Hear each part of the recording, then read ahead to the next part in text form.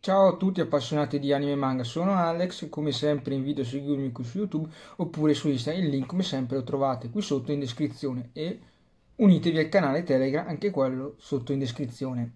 Oggi farò recensione, visto che è finito, di Starving Anonymous, edito da Star Comics a 5,90€ con sovracoperta, 7 volumi totali. Già questo capite più o meno il genere, è un genere escape horror. Parla di questo pianeta Terra normale che c'è qualche strana forma di surriscaldamento globale che anche a marzo sembra di essere estate. Il protagonista Ie viaggia su un pullman tranquillo beato, a un certo punto tutti gli altri si addormentano. Lui abbassa la maschera, vede l'autista che si gira e dice adesso do-" si gira e si addormenta per questo gas che ha messo l'autista nel pullman. Si risveglia in un posto strano con tanti corpi ammassati insieme e vede cose strane. Finisce, vai, vede un posto, ci sono persone molto grosse attaccate a un tubo che pende dall'alto che vengono rifornite di cibo e l'unica cosa che fanno praticamente tutto il giorno è mangiare cibo in continuazione. Poi il clou vede una delle specie degli insetti giganti che sono più mostri che insetti giganti che divorano esattamente questi umani. Lui cerca di scappare, cerca di sopravvivere, si nasconde attraverso i condotti di areazione, incontra una persona pazza e psicopatica che gli spiega che quella si chiama la culla, è un posto dove ve- vengono portate delle persone per essere divorate da queste creature. Oppure si fanno gli esperimenti per, per cambiargli la forma, l'aspetto, renderli più forti, oppure farli procreare in continuazione, eccetera, eccetera. E e questo è un bel mistero come possa esistere nella società moderna un posto che nessuno conosce, nessuno parla, ma soprattutto di queste creature che divorano gli uomini e non sa bene spiegarsi il motivo. L'unica cosa che vuole è scappare da lì, salvarsi. Succederanno varie cose, incontrerà diverse persone, questo Natsume che si scoprirà essere un autorigenerativo praticamente è immortale, cioè è l'esperimento finale che queste creature facevano per creare un corpo, una persona che continua a rigenerarsi per far sì che la mancanza di cibo non ci sia.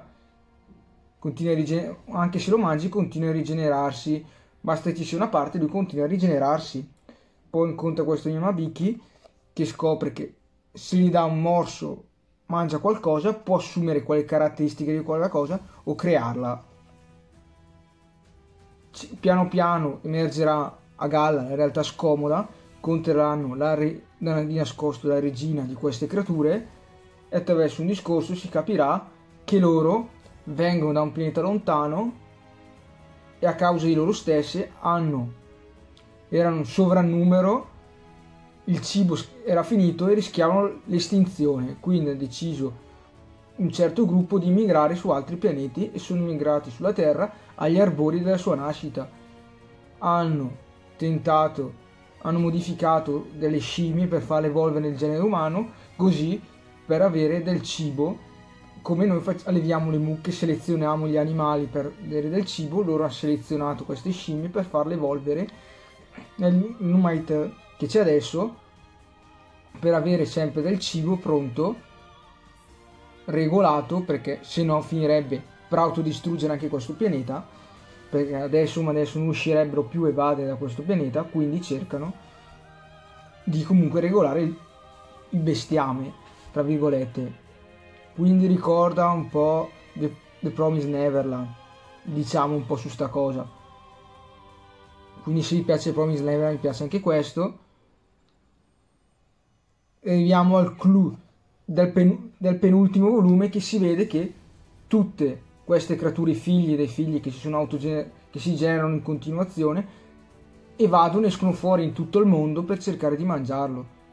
E qua finiva il sesto volume. Col settimo, che è un'assurdità dietro l'altra, piena di splatter, tante cose che succedono. Ovviamente adesso farò un po' di spoiler, quindi magari saltate un minuto, un minuto saltate un minuto, o comunque vi scrivo qua sotto che minuto arrivare.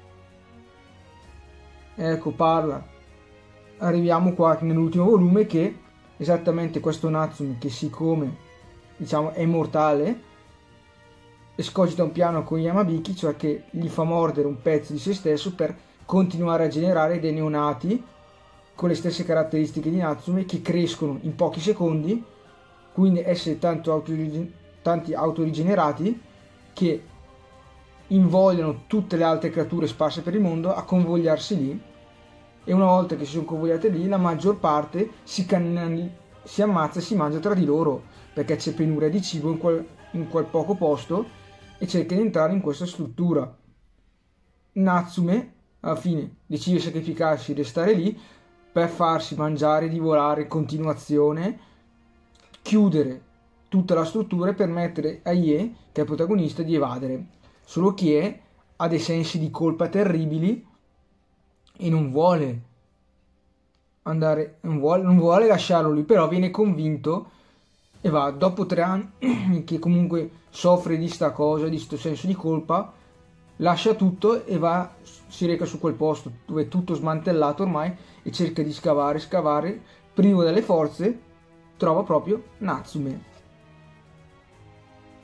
che gli spiega come ha fatto evadere grazie diciamo al modo della mucca pazza modificato, cioè il concetto è quello.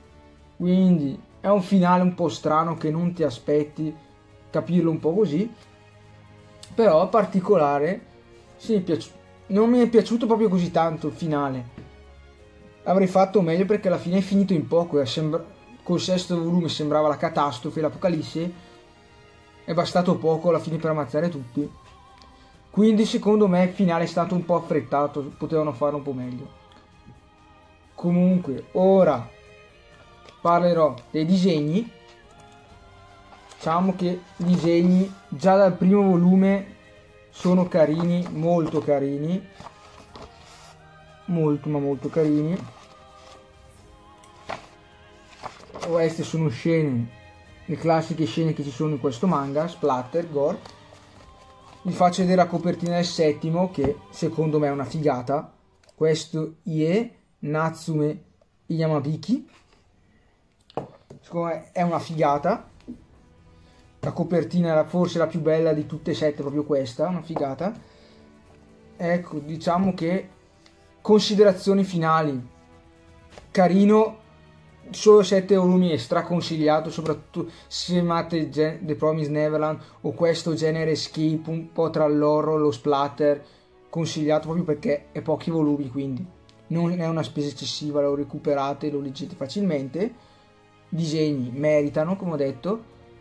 La storia non è una genialata di quelle però è comunque carina si fa leggere perché va talmente veloce il manga essendo solo da 7 volumi che non ti dà il tempo di staccare gli occhi o di pensare ad altro, resti incollato alle pagine una dopo l'altra proprio perché non ci sono buchi di trama, non c'è pagine mo- morte o, o, momenti vuoti che non, senza, che non servono. C'è questo pianeta, questa terra distopica che non funziona bene le cose strane, un mondo, una terra alternativa che magari potrebbe tranquillamente esistere nella realtà perché nessuno lo sa, anche se non penso, spero di no, però diciamo che è un po', l'ho vista un po' come denunciare il fatto della schiavitù, soprattutto nel periodo nazista, fare esperimenti sulle persone, un po' una denuncia anche al fatto del sovrappopolamento che a continuare così rubiamo tutte le risorse del nostro pianeta e come quelle creature dovremmo, cercarcene un altro, ma adesso come adesso non abbiamo i mezzi tecnologici per poterlo fare e neanche abbiamo trovato un pianeta adatto ed abitabile. Quindi è una denuncia per farti capire, aprire gli occhi, guardate, in questa società di consumo bisogna darsi una regolata, non sfruttare così tanto il pianeta e soprattutto non sprecare così tante risorse, perché magari adesso ci sono, fra qualche anno i nostri figli non ci sono più, quindi bisogna avere un occhio e stare attenti. Comunque, io vi ringrazio, se il video vi è piaciuto vi invito a mettere un like, condividetelo, attivate la campanellina, ci vediamo al prossimo.